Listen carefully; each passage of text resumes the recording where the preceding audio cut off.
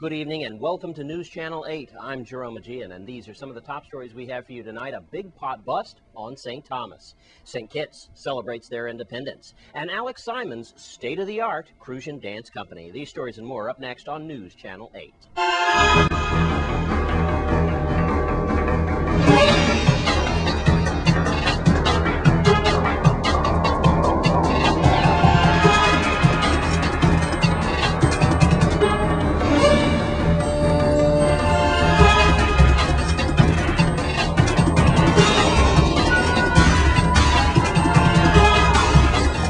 Our top story tonight, there was a substantial amount of marijuana confiscated on St. Thomas over the weekend. Here's Police Chief Rodney Querrard. Police on St. Thomas confiscated 84 small Ziploc baggies of marijuana and two larger plastic baggies of marijuana from two suspects near gas works in Estate Bovoni. Elijah Harrell, 26, and Ted Nathan, 22, both who reside in Estate Bovoni, were arrested shortly after 6 p.m. Thursday, September 15th, and charged with possession of a controlled substance with intent to distribute marijuana.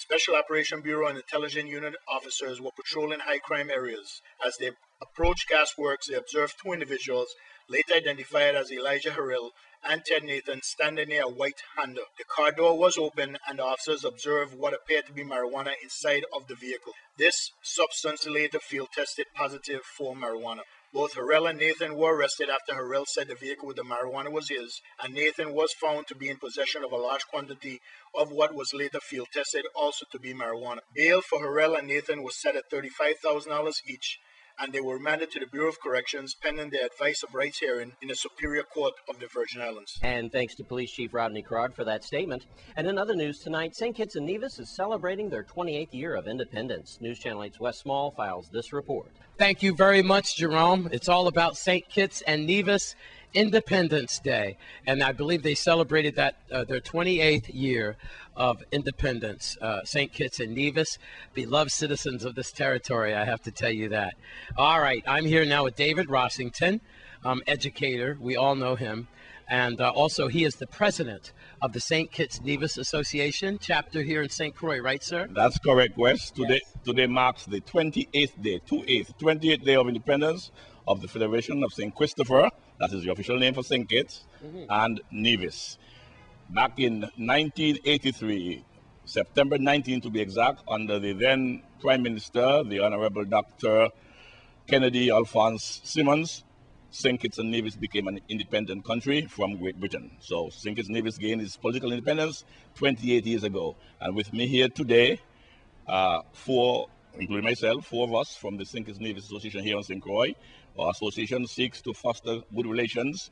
First of all, here we will live here, here is home, together with um, those of our countrymen here in the territory and those back in the Federation of St. Kitts Nevis.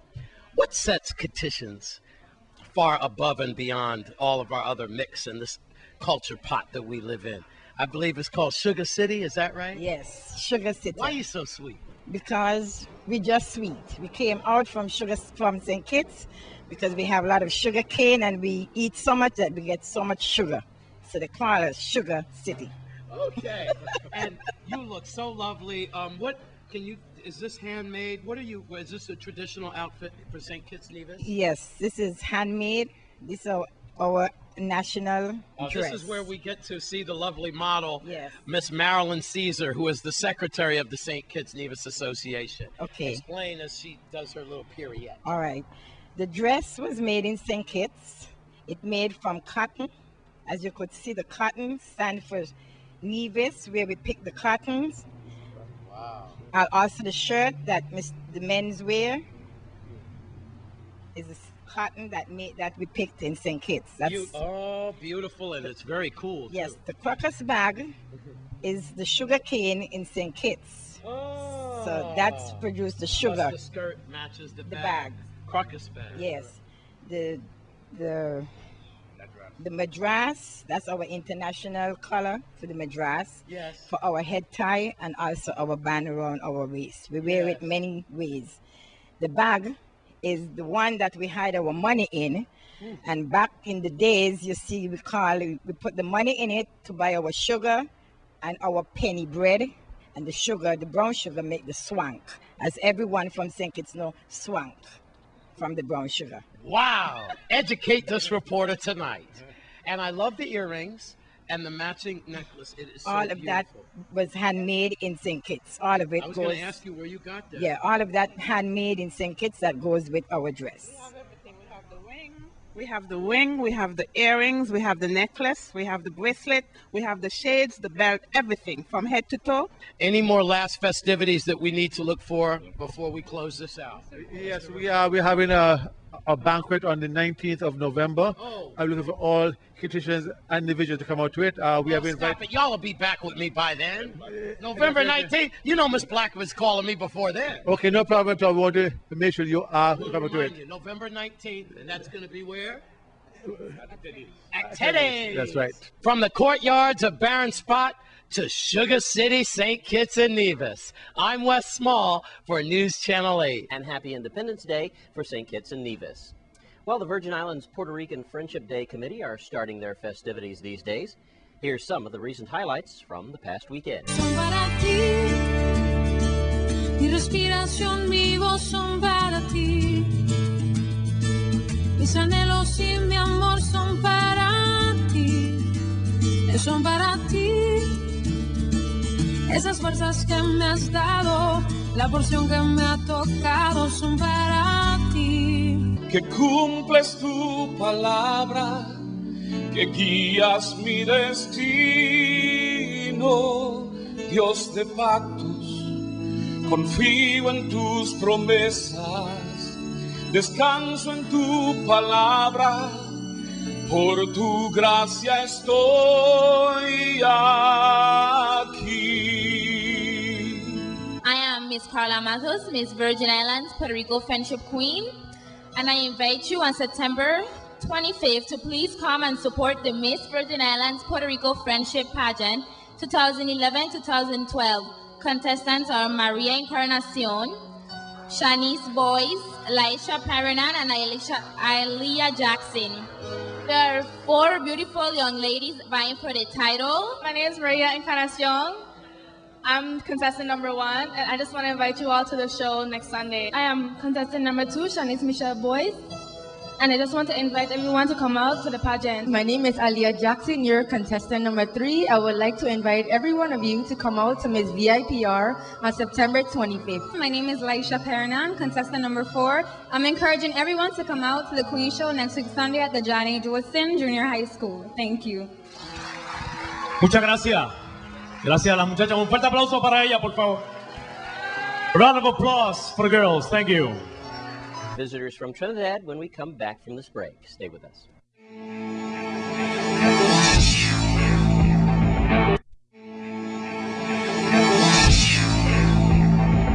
Let's take a look at your Caribbean report for tonight.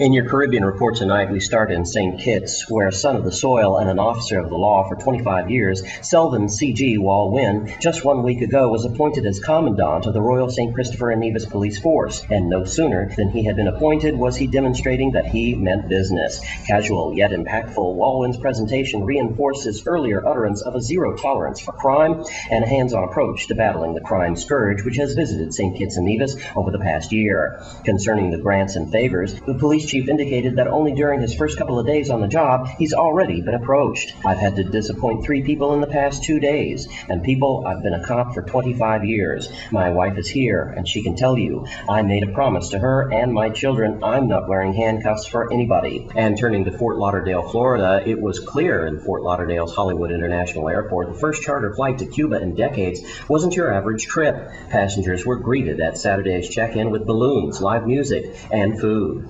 Sprays of water were also arced over the plane as it taxied down the runway for a 1 p.m. takeoff. Using a leased JetBlue plane, airline broker company will be providing a nonstop service from Fort Lauderdale to Havana every Saturday, as well as a return flight. But not everyone in the Cuban American community thinks that more travel to Cuba is a cause for celebration. South Florida Congressman Mario Diaz Balart and David Rivera, both Republicans, have introduced bills to limit the growing number of Cuban Americans heading to the island. The charter company estimated that Cuban Americans may make as many as 400,000 trips this year. Congressman said that such travel throws a lifeline to the Castro regime, pumping up the government coffers with landing fees and other payments and diluting the dismal state of the Cuban economy. And while flights to Cuba are increasing, British Airways has announced plans to reduce flights to the Caribbean following a sharp rise in air passenger duty. Blaming falling passenger numbers on punitive tax, the British Airways chief executive Keith Williams confirmed the news while delivering a keynote speech to over 200 tourism directors and ministers and practitioners in St. Martin at the Caribbean Tourism Organization. For the summer of the 2012 timetable, Williams explained that British Airways will be forced to reduce capacity to the Caribbean by approximately 6% in a bid to focus on more profitable routes.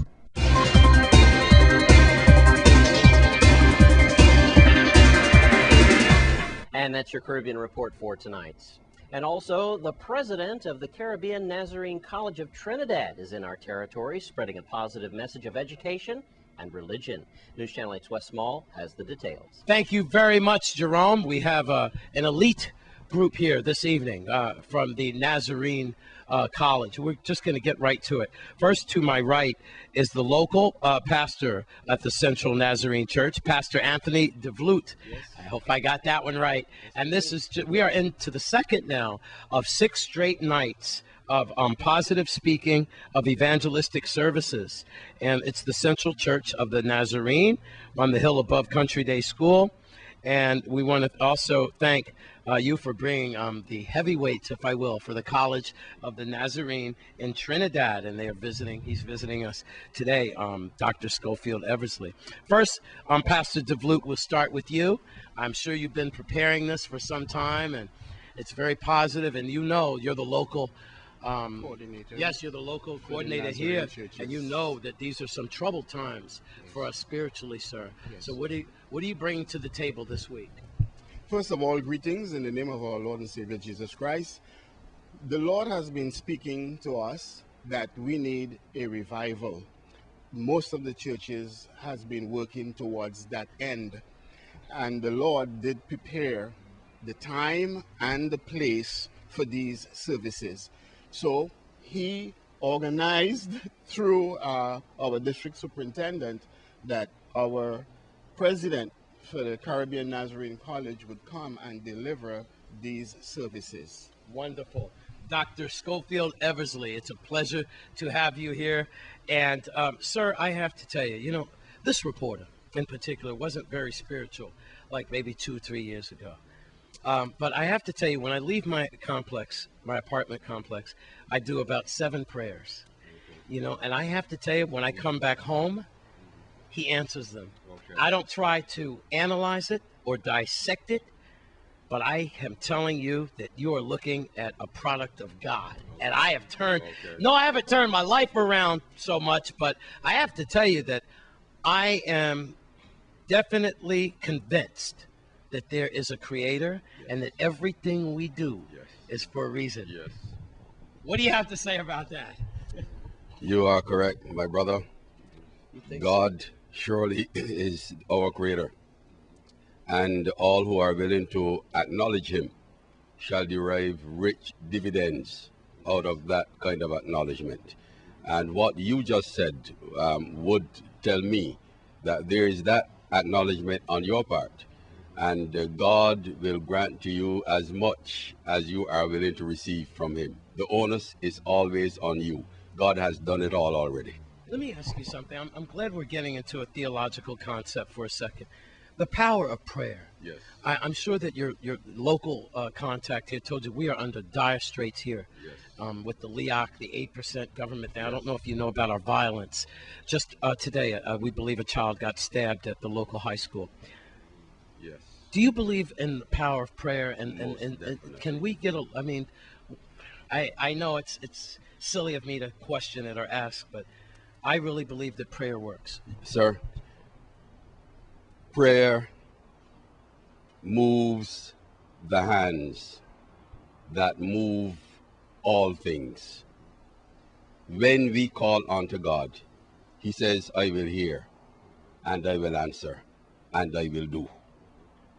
Well, thank you for at least Powerful. helping me out. I hope it helped Yes, you out. I don't yes, mean to take a yes, sidetrack. yes. Now, I'm, I'd like to ask Dr. Ken Sharp, and you are the regional coordinator. you have about 30 to 40 annexes of the Nazarene um, schools in, in, the, in the Leewards and the VI and so forth. Sir, what does the rest of these nights of evangelistic lectures that this brilliant man and your constituents bring, what does it mean to our territory now? I think it's going to bring hope, it's going to bring transformation, and uh, also it's going to give people a sense, okay, of knowing that there is a God. And uh, people are hopeless, and especially in these hard economic times, certainly we need to reach out to them. And that is why I think that as a church, we have the answer. I think Christ is the answer, and that is what we want to give our people hope for the future. Right here locally, how can people get in tune and involved with the Nazarene College? Okay, they can get in touch with the Na- Nazarene College through Mr. Steve Bullock, and he can be contacted at 513 4099 or 771 0673. Thank you, gentlemen, very much. I'm Wes Small with members of the Caribbean Nazarene College. Y'all will do great, trust me. For News Channel 8. When we come back from this break, a new state of the art dance center opens on St. Croix. Stay with us.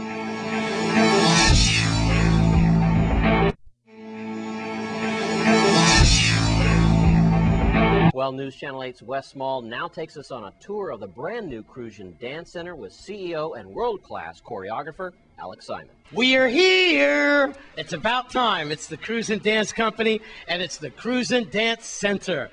I'm here with Alex Simon. He's world famous. And Kevin, he's the hip hop um, assistant right there. We're going to get into all of this.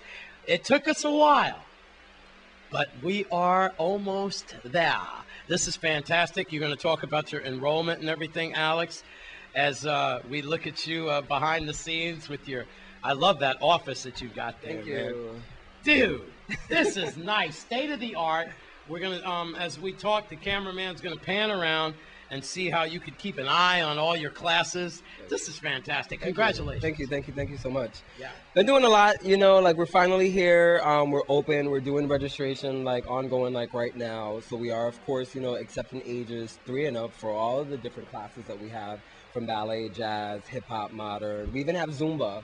Mm. Yeah, which is really amazing. That's the new hot thing. Yeah, that's a new hot thing. We have a hot um, Zumba instructor. So, you know, those adults that are definitely interested, you know, they should come out and get some information for the classes that we offer. How can people um, sign up to the Crucian Dance Company? They can definitely, you know, like stop on by. We're usually open here from like 10 a.m. in the morning till 8 o'clock at night. Um, you know, we're right above the old Goodyear and tire you building. can register right here. Right here, right here. You know, we'll take out all your information. Um, you know, you can definitely call us. Our number, of course, that we're branding is 340-71-DANCE, which is really, really simple. And then online, look at that. Yeah, well, we're actually right now building the um the website. website. Yeah, so it's gonna be cruciandancecenter.com, and that should definitely be you know up and running within the next couple of months. But you know, like we're here, we're doing like a lot of different things. We're preparing for the Miss Urban Teen Scholarship Competition. That's always big. Yeah, so we're looking for girls like right now, you know, to register those that are, are of course, you know, interested, as well as all the other classes that we're going to be teaching. All right, well, you need to call right now, 340-71-DANCE.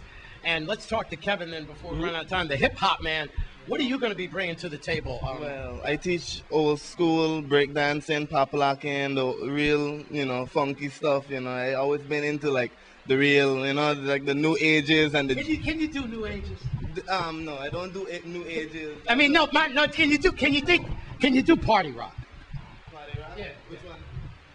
Party rock is in the house tonight. Can you do that? Wait, um. Uh, come on. they do the- You want his version of mine? I mean, hey, Alex. You think I can't get into this? No, you were doing like the reverse. He's doing the reverse. You're doing the reverse. Hey, 34071 Dance, get in here. I'm having a lot of fun.